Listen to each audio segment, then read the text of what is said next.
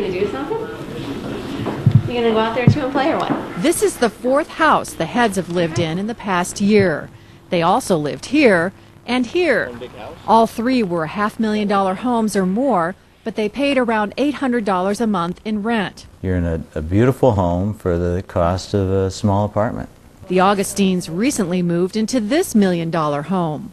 They also lived here, seven homes in all in the past three years. Home managers must keep the home clean and ready for showing from 9 in the morning till 8 at night. Yeah, everybody kind of seems to think it's okay. No one, everyone says they couldn't do it themselves because they could never keep it clean, but, but I don't know, it works, works for us. It's Showhomes of America, which sets people up as home managers in 30 states, says business is booming.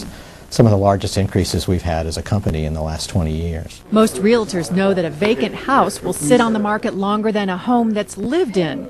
Also, the more expensive the home, the longer it usually takes for the right buyer. to- The heads decided to become home managers after Steve, a builder himself, used Showhomes to sell one of his luxury houses. They admit their friends don't really understand. I just thought, um, yeah, they, we were nuts. Well, they're always asking me, so where are you living now? You know, it's it's a, and sometimes it's I don't even know the address. You know. They changed their address to a post office box and use cell phones to avoid hassles with change of address forms and phone lines. Their children are in private school, so they aren't tied to a specific neighborhood, and they say it's been worth it. Every place has been very nice, and um, we're very blessed that we have this opportunity. Ceci Rogers, CNN Financial News, Chicago.